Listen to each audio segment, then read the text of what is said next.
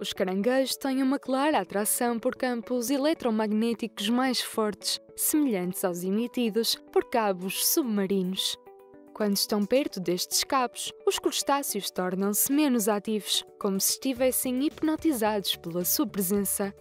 Este efeito pode ter consequências na migração dos caranguejos, na procura por alimento e na atividade de acasalamento. Mas as consequências não se ficam por aqui.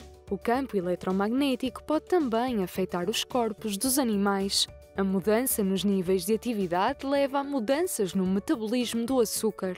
Além disso, a exposição a níveis mais elevados de força do campo eletromagnético altera o número de células sanguíneas no corpo dos caranguejos. Isto pode tornar os animais mais suscetíveis à infecção bacteriana.